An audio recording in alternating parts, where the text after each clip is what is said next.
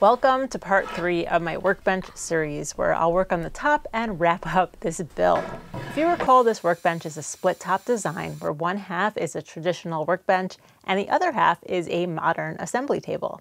I started with the traditional hardwood top that's made from soft maple I got from Woodworker Source. I was aiming for a final thickness of three inches for this top, so for now, I ripped these planks oversized just to get them all to the same width.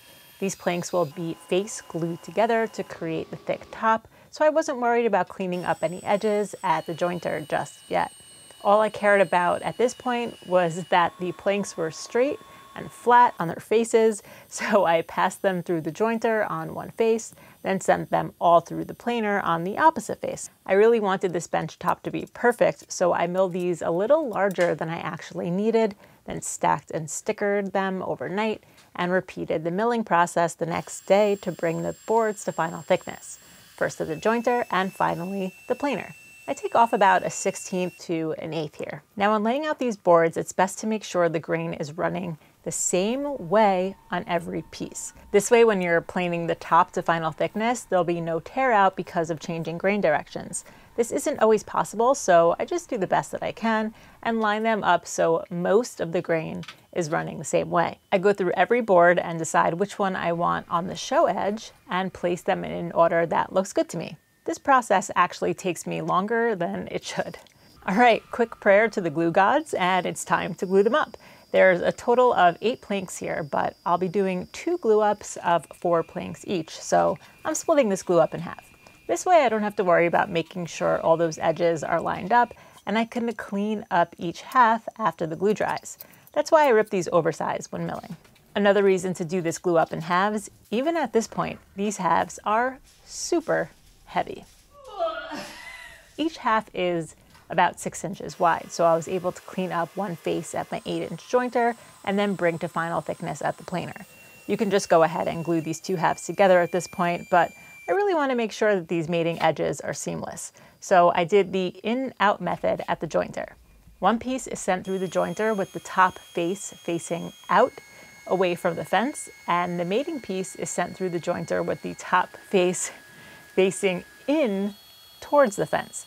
This way, if the fence angle is slightly off, the opposite angles will match up perfectly. Just a precaution, but it works perfectly. Now that I've gone through the trouble of cleaning up the tops and making everything nice and smooth and even, I don't want to have to do that again after gluing these two halves together. Dominoes, dowels, biscuits, splines are all great ways to keep multiple pieces level during the glue up, but they're only great if you set your tools correctly. Oh my god! I cut on the 20 and not the 25. this is a disaster. Disaster! So, even with high-end tools like the Domino, you can make a mistake. I forgot to change the cutting depth and the mortises were too shallow. So I wiped off all the glue, changed the setting on the Domino, recut the mortises, but as I was editing this, I was laughing at myself. What a waste of glue. I could have just trimmed up a few dominoes at the bandsaw to fit the existing shallower mortises, and lots of times I get comments saying, you should have done this, or why didn't you do that? Well, because in the moment, I didn't think of it, and we all make stupid decisions every once in a while. Only difference, mine are caught on camera. Almost a disaster. Crisis averted. Now this bench top is super heavy. See how heavy this is? So I set up a sawhorse to help out with lifting it at the planer and have to walk it around my shop to move it anywhere. I did super light passes here just to clean up the glue mess that I made and magically the base of the bench is built. Just kidding, not magic. I posted that video a few weeks ago and it's part one of this bench build series. Once I got the heavy top on the base, I decided that's where it's going to stay. I don't want to have to do that again. So I did everything else I needed to do while it was on the base. It was really cool to actually use the base as a workbench as I was continuing to build it. Anyway, the edges need to be perfectly square, so I used a track saw to trim them up flipping the top to reach where the first cut could not. Then I spent some quality time with my hand planes until the edge was square and straight across. To get the opposite edge squared up, I did the same process, but this time I used a combo square to set the track saw so the cut will be parallel to the first edge. I thought about using a table saw to make this cut, but then I remembered how heavy this top is, and its weight was the reason for my sprained ankle, so bringing the tools to the workpiece was the best option for me in this scenario. When doing the glue up, I left the boards long so that I wasn't worried about aligning them. So at this point, after the edges are squared up, I can trim up the top to final length, again using the track saw from both faces, and then I cleaned up all that burning with a sander. There's still a lot of work to do on this top. So I wanna make sure it'll always fall in the right position every time I move it around. I thought about using a large dowel as a locating pin, but the Domino makes quick work of drilling perfectly placed mortises off of a referencing face. Now, every time I have to move this top, it'll go right back to where it's supposed to go. Moving on to the torsion box assembly table part of this build. Top and bottom will be made from half inch MDF that I rip to the actual width that I want. The top piece is going to get a piece of laminate glued onto it to make it a more durable work surface. I've never used laminate like this before, but I have done some veneer work and the process is pretty similar. I thought I could trim this thin, lightweight piece of laminate at the table saw, but it was so large and unwieldy that I couldn't even lift it up to the saw. So I nixed that idea and remembered I had an acrylic cutting tool. So I clamped a straight edge to the laminate sheet and passed the cutter along the straight edge until it scored the material, and then it just snaps, but not perfectly. I guess I didn't score it deep enough at some points. Now that the piece is not as large though, it's easy to trim at the table saw. I'm assuming this is a small girl problem and most people who would be building this would be able to lift a whole sheet at the get-go. I trimmed the sheet to length using the scoring tool, making sure to score deeper this time and it's time to attach it to the MDF. I use contact cement to do this. I really hate the smell of this stuff and I don't love the process, but it's really effective. Roll the contact cement on the MDF and the back of the laminate. Wait about 20 minutes for the contact cement to dry. Apply a second coat if it doesn't look glossy. Wait another 20 minutes for that to dry, then apply the laminate to the MDF. I know it seems weird that you wait for the glue to dry before attaching the pieces, but if you do this correctly, once those two pieces touch, they will not move. So when putting the laminate down, put it on some spacer blocks or dowels so it does not touch the MDF just yet. Then start from the center, press down and work your way out, removing the spacer blocks as you go. A J roller is really helpful here in making sure there's a good amount of pressure to aid in adhesion. The laminate was cut slightly oversized initially, and that is so that you don't have to worry about aligning it perfectly when you do the whole contact cement thing. So a quick pass with a flush trim bit brings the laminate to the same dimensions as the MDF. We have the bottom and top pieces. Now we need the pieces in the middle that will create the torsion box. As per my design, there are going to be a few rows of dog holes in this portion of the bench. Dog holes are 3 quarter inch holes, and this is 3 quarter inch plywood. I want to make sure the area around the holes are wide enough so that there are no visible gaps in the dog holes and you don't see inside the torsion box and nothing ever gets lost in there. So I'll glue up a few pieces to create wider supports just in those sections. They were ripped oversized before gluing them so that after they're dry, I can clean up one edge of the jointer then get the exact height I need based off of the top and bottom against the hardwood portion of the bench, then trim those to final height. Now that I have the perfect height already set up with the table saw, I'll rip the rest of the parts that make up the supports of the torsion box and I cut most of the parts to length at the miter saw. So these wider supports that are glued up are going to be in line with dog holes that I'll drill on the hardwood portion of the bench. So before placing them inside the torsion box, I need to know exactly where those dog holes are going to be. Pretty cool announcement. As of today, I'm selling a dog hole template on my website to help with the layout and cutting of dog holes. So this part should be really simple.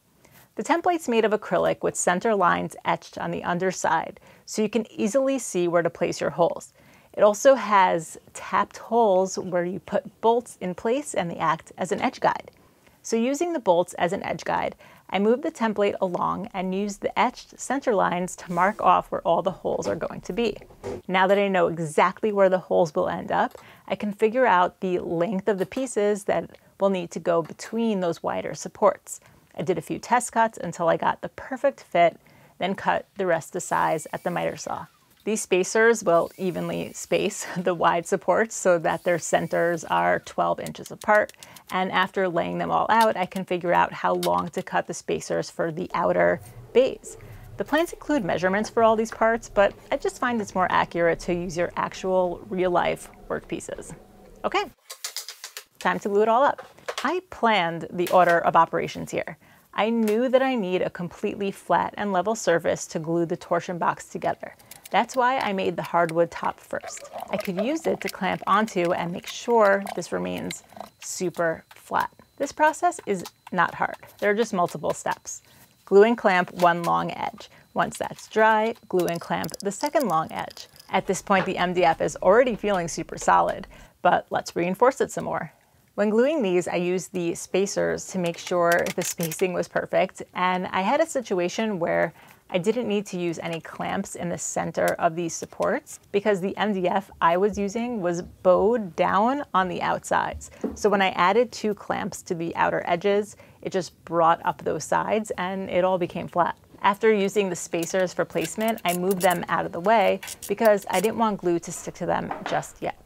That's the next phase of this glue up. I did feel like these spacers needed clamping for the middle, so I moved the whole assembly to the flat hardwood worktop and use some cauls to place pressure in the middle of those and press them down towards the flat worktop.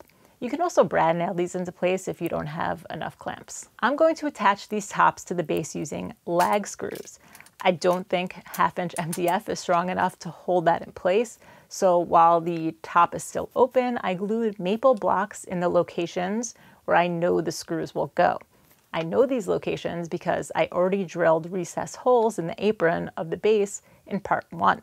I've seen some torsion box videos where they sand all the support pieces flush to each other after this step, but I'm happy to report there was no sanding required here. All the pieces were smooth and flush with each other. When running a straight edge across, nothing is catching. On a high note from how well this was turning out, I decided to glue on the top. This part was the trickiest. I tried my best to get even pressure across the whole top by first placing down another piece of plywood, then putting cauls down the whole thing. And when clamping long cauls, the middle tends to bow upwards. So I put some thin scraps in there to force pressure in the center. This was a good idea in theory, but there was actually too much pressure in the center. I'll show you guys in a little bit. I decided to make this portion of the assembly table a bit fancy by adding some walnut trim around all the edges. Totally not necessary, but this will be featured in every one of my videos moving forward, so it should look nice. Another thing that will be featured in all my future videos, this Laguna 14BX bandsaw. I've been eyeing this bandsaw for a while and I was thrilled when Laguna offered to send me one. In my opinion, Laguna makes the coolest looking tools, but they don't just look cool. They're amazing machines and the assembly for this tool was about 10 minutes, which is awesome. I've always struggled with consistent resawing in the past. No more. I've been eyeing this machine for a while, but I've also always wanted to try Laguna's legendary Resaw King blades. And there is no going back to regular blades for me. As a thank you to all my viewers, Laguna was able to offer a 10% discount on parts and accessories from the Laguna store. So check out the link down below and use the code TAMAR10 if you want to try out this blade or other Laguna accessories for yourself. Back to the walnut trim. These pieces could probably just be glued to the edges of the torsion box and you'd be fine. But again, alignment. And in this case, I needed to address the little dip in the top I made when gluing it up. As you can see, the light is shining under the straight edge, which means there's a gap. No bueno. So I ripped a scrap piece of plywood to be slightly taller than the cabinet opening and clamped the edges, which would simulate when I screw it all down and voila, no more light. So my thought process here was to keep that middle lifting scrap in place while I did the glue up and the dominoes will also help keep it all straight. And it totally worked. After one long edge was good, I glued on the short sides with dominoes and finally put the last long edge in place, all while the scrap spacer was lifting up the middle and clamped down to the aprons. Crisis averted. Let's move on to some work holding. I decided to go with this tail vise from HNT Gordon and I used my dog hole template as a guide for its location. The tail vise needs to be in line with a row of dog holes in order for it to function properly. So with the bolts placed in my jig, I know exactly where those holes will go. I use the etched center lines on the jig to make a center line for the tail vise, then use the included instructions to get the rest of the dimensions marked out. The idea of cutting into my brand new workbench top was really nerve wracking, but a good setup with my 6 in 1 jig eased those nerves a bit. I lined up the right edge of a quarter inch bit with the right pencil marking and double side taped a hard stop to the underside of my jig. Now I adjusted the fence on the jig so the left side of the bit was touching the left pencil line and locked the fence in that position. Next, I moved the router so the back of the bit was touching the back layout line and double side taped one of the extra fence pieces directly to the bench top. Now it's just a matter of taking multiple passes, lowering the router after each pass until you get to the desired depth. After getting that first line to final depth, I could adjust the fence over about a quarter inch to make the next cut. I keep doing this over and over again, adjust fence, cut, lower bit multiple times, adjust fence, again until I get to the hard stop that I double side tape to the underside. That's the final pass and it's a perfect fit. Awesome. Next up, I route the space for the cover plate that's going to be the thickness from the top of the vise to the top of the workbench. Same as before, I double stick tape a hard stop to the bench for the back of the cut and adjust the fence on my jig for the sides of the cut. I thought it would be a nice touch to make this cover plate out of some scrap walnut from the draw fronts. This was actually really fun to make. I resawed a piece almost to the desired thickness at my new awesome bandsaw, which has a foot pedal to stop the blade, by the way. Then I ripped it to width at the table saw and it was a perfect fit. Well, almost. The corners need to be knocked out, which is easy to do with a corner chisel. Now it's a perfect fit. The tail vise will have a dog that moves forward and backwards, so a notch needs to be created so it can slide. I made the notch by drilling two holes with a Forstner bit, then adjusted the fence on my router table using the hole as a guide, then connected those two holes. The plate will be held down with screws, and you have to make sure to countersink those holes so the screws will sit well below the surface of your bench. I decided to use brass screws because, well, brass, but they're notorious for breaking when you drive them into hardwoods. A little bit of screw wax and they go in super smooth. Now that the plate's held down, it can be flushed to the surface of the bench with a hand plane. Super fun.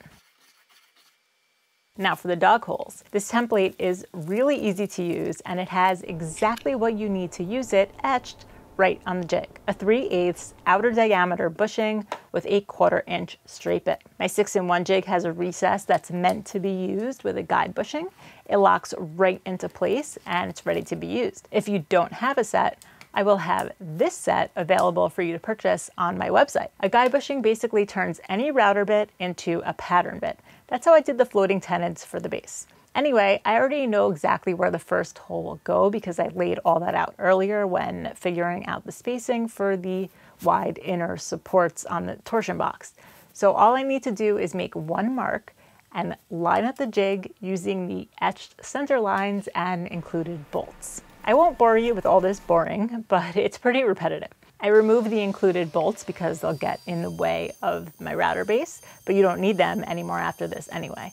After you drill your first set of holes, you're going to use the holes you just drilled out to get the next set of holes in the perfect spot. When you use this template, you end up with 3 quarter inch holes. So on the jig itself, there are actually two rows of 3 quarter inch holes. This is where this is so cool. To move to the next set of holes, you put a 3 quarter inch dowel or a dog in the hole on the jig that goes right into the three quarter inch hole you just made. If you were drilling two rows of holes, you could use the second three quarter inch hole. And when adding holes further away from the edge of the bench, you can use the three quarter inch holes that are on that front edge. This is just so easy to quickly place down and keep on drilling accurately spaced dog holes. I used very little double-sided tape to hold the template down, and I didn't even replace it after every move, and it worked out great until the end. On the assembly table, I already know where I want the holes there. It was all laid out when I was assembling it, so I just need to make a center line that the etched center lines on the dog hole template can reference. Rinse and repeat, I just plunge until I can't plunge any further to create the hole. A little tip here, before you do the last plunge, just vacuum out the hole that will remove any sawdust that will get trapped between the bushing and the jig. Then your final pass should be nice and clean. This template has a total of nine holes that you can drill at one time. So if you're making a table with a lot more holes, this would be perfect for drilling a lot at a time. It's cool that it could be used in different ways though, like on this portion of the bench, I'm skipping the middle hole always options. It's really hard to capture placing the etched lines on a center mark, so I hope this is coming through and I hope you guys like this new product. Really looking forward to hearing your thoughts. My bench actually turned out to be thicker than three inches. It's about three and a quarter. So I couldn't plunge all the way through with the bit that I had. No problem, just drilled out the rest of the holes with this awesome overdrive bit. This is the bit that I used when I made the dog holes on my portable workbench. I liked using the router better, but this is still a great bit. If using a bit like this, you still need to make a template to make sure all the holes are straight and perfectly spaced like I did in that other video. On to the front vise. Lots of options here. I went with one from HNT Gordon. I did a lot of research on this for months before actually pulling the trigger and purchasing it. It's pricey, but this is my dream bench. The vise is meant to be used with a top that's three inches thick, but I just mentioned I actually ended up making mine a quarter inch thicker. So I needed to route out a quarter inch pocket for the vise to sit in. Once again, the six in one jig to the rescue. With the stops and fence in place, it's basically acting as a makeshift template. Perfect fit and the vise just gets bolted into place. There are already lots of installation videos on these vices. I wanted to add a row of dog holes in line with the center of the vise, but realized drilling all the way through would interfere with the actual vise, so I did something really fun. I made pop-up dogs, or as one of my Instagram followers said, prairie dogs. These are made from 3 quarter inch dowels that I made from scrap walnut. I milled a piece to 3 quarter square at the planer, then set up a 3 8 round over bit at the router table. Did some test cuts on all four sides until I got a perfectly round shape then made the round over on all four sides to create the dowel. I have a whole video on making dowels if you're interested in learning more. Off camera, I used the dog hole template to make holes in line with the vise, use calipers to get the depth of those holes, then set a stop block at the crosscut sled to cut them slightly longer than that depth. In order to hold these short dowels at the drill press, I made little notches in my hand screw clamps at the bandsaw. Now the dowels are held in place while I drill a hole in the end grain. These holes need to be as deep as these push latches are. I got 10 of these on Amazon for 15 bucks. This is so simple. Just push the latches into the hole and done. Only caveat here, you need a 10 millimeter hole. I happen to have a set of metric bits just for occasions like this. So fun. The dowels didn't fit right away, so I chucked them up in a drill using the latch and sanded until it was a nice fit. To make them fit even nicer, I added wax. I tried using a flush trim saw to cut to final length, but the dowel kept rotating around and it didn't leave a nice cut. So I just scored around the whole dowel with the flush trim saw, put it in my brand new vise, cut it along the score line, and played with it a billion times. Just a quick pass with the block plane, and now they're perfectly flush and really fun to play with. Last feature on this bench is the gap stop. I was planning on just using this one walnut board, but it was severely bowed, so change of plans, I'll make a sandwich.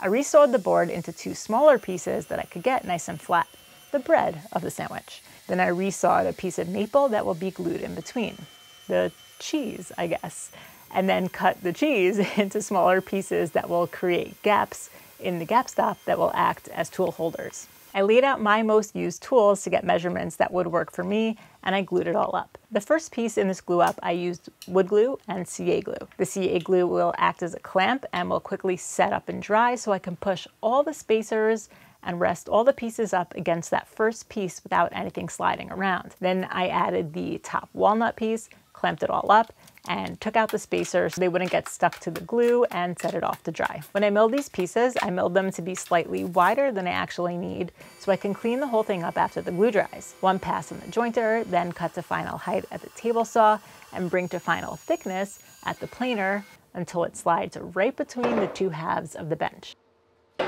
The gap stop is taller than the workbench top, so it needs to be notched out where it hits the base aprons. Using a combo square, I get the notch depth and it's already so fun to be able to use this vise to cut them up and to use the dog holes to hold down the workpieces. One final pass with a template bit in a router to bring to final depth, chamfer those corners and it slides right onto the aprons, perfectly flush with the tops. All the dog holes get a slight chamfer with the router. Everything gets a final sanding and all edges are eased over. Lots of people in the base video thought I wasn't going to make this bench mobile. Of course I'm making it mobile. I bought these way back in April when I was planning this bench and the installation was pretty simple, especially with the drilling templates they provided and even simpler with this spacer block I made based off of their template. Moment of truth, it moves around super easy. Not a bad Amazon find. Finally, it's time for finish. I knew I wanted something that was easy to apply and I could just add more finish whenever I needed to. So I went with Minwax Antique Oil Finish. It's my first time using it, but it's basically like a wipe-on poly. I made sure to finish both sides of the bench so it doesn't warp, and man, those walnut draws look good. Final step, attach the tops to the base using three inch lag bolts through the recessed holes I drilled out when building the base. And it's done. Well, almost done. I still have to put another coat of finish on here and a layer of wax, but it's basically done.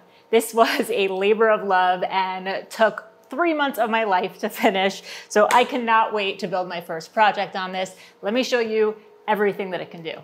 First up, we have the tail vise. So a dog goes into here, and remember I made that slot, so that dog can travel like that, and then there is more dogs that have three quarter inch shafts that go into the three quarter holes that were drilled out. So this is great for clamping up small objects like this. And if you want to do larger objects, that's why the holes run along here. So you would find the next hole, move this back, and you can use this all the way down the length of your bench, all the way to the last hole to accommodate longer pieces. So this goes in there and adjust here. Now this long piece is nicely secured down to your bench and you could do anything you want. You could use a hand plane, router, sand, chisels, whatever. Your piece is not gonna move. But it's not limited to the length of your bench. You can actually use this and extend your bench. Let me show you. So I have this long piece here that's longer than the length of my bench when I butt it up against the dog on the vise. So I could use my front vise to create an extension fence. Literally, all you need to do is take any long board and put it in your vise, extend it so that it's further than your piece, and rest it on one of the dogs that are on the side of the bench here. Now, just clamp a block to the end of it, tighten that down in the vise, push it up against the stop, and secure it with the tail vise. Now this piece that's longer than your bench is secure and you could work on it. Now this is just a temporary thing here that I clamped it. You could make something more permanent and screw it. You could build something that has support from underneath and just clamp it in the vise. A lot of different options here, but you're not limited to the size of your bench. Another really cool feature for a tail vise is to turn your bench into a shooting board. Just make a board that's like quarter inch uh, MDF, drill some holes using the dog hole template as a guide, and then put some dowels on the underside. Now these dowels will go into the dog holes on the bench. Now place a workpiece so that it's just hanging over the edge of the MDF. So the dog that I got to go in the tail vise is only a quarter inch high, so it doesn't reach this material. So all I did was make another one with a uh, half inch dowel and plop that in there and your workpiece will stop against that. Now put a dog in one of the holes in the MDF straight through the bench. Push the workpiece up against it and tighten that down. Now with your hand plane on edge, you just run it along the piece on your workbench, turning your workbench into a functional shooting board. And just something to note, the template that I'm selling has the perfect distance from the edge to turn your workbench into a shooting board like this. All right, now let's talk about the front vise. I chose this vise because it's very minimal, yet it has a ton of functionality. It's a non-racking vise, so I can clamp something way out here and it's completely clamped. And over here as well, totally clamped, nothing is shifting around here. So what I like about putting this at the edge of my bench is that I'm able to clamp this here and then use it to cut this way. You guys already saw me clamp up a long board, but the reason for these holes over here is to support long pieces as I get them into the vise. Now, this is super strong in here. I can even run along here and plane this edge. No problems at all. It's actually really fun. Okay. The reason for these dogs down here is to support longer, heavier pieces. Like when I was cutting in the mortises for these legs, I had to hold them up as I was tightening my moxon vise, and it just makes it a little bit less comfortable. So I just put a dog in there, and now I could just rest the work piece on there while I tighten up the vise. This whole clamping situation also works for big, wide panels. So I rest the piece on the dog on the leg, tighten down the, the vise, and then I can add another clamp using the holes that are in the side of the bench. And this piece is not going anywhere. Now for the pop-up dogs. So these are in line with the vise here, and they're meant to hold a piece and quickly clamp it um, with the vise. And normally there would be a dog in the vise here. And it shows that on the website, but you have to drill your own hole. I'm just not ready to do that yet. So I made this quick little thing that goes over the vise. This is just a prototype. I like made it in 10 minutes. And this way I can quickly clamp against those pop-up dogs there. So we'll see how I like that. And if I like this clamping situation, then I'll go ahead and drill for the dog in the actual vise. While I was making this though, I found a use for these pop-up dogs here, which is pretty awesome. Um, it, the fit was just a little bit too tight, so I needed to pare it down a little bit. And I just popped them up and pushed against it with my chisel to shave off a little bit of material. And it was great in a pinch.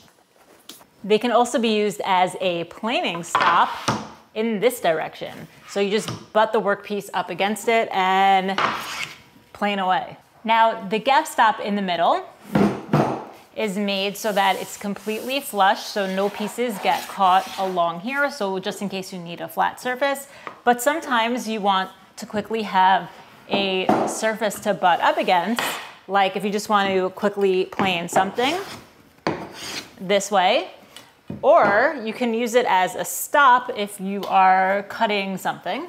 I have a pull saw, so I would hold it back here and then cut. The piece is being pulled against the, uh, the gap stop and it's supporting it. If you have a push saw, you would hold it this way and cut that way.